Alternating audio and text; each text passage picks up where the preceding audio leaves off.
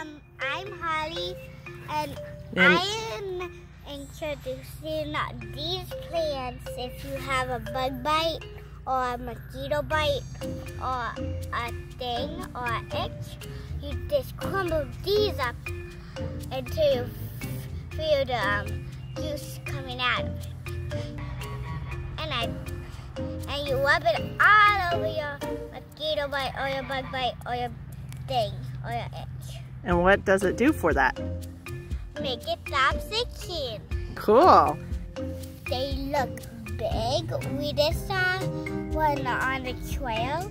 It was skinnier, but these ones Whoop. are way bigger. Way bigger. What's on the back of the leaves? How do you, Um, Identify. These are ribs. yeah, they have like raised ribs that go down the leaf.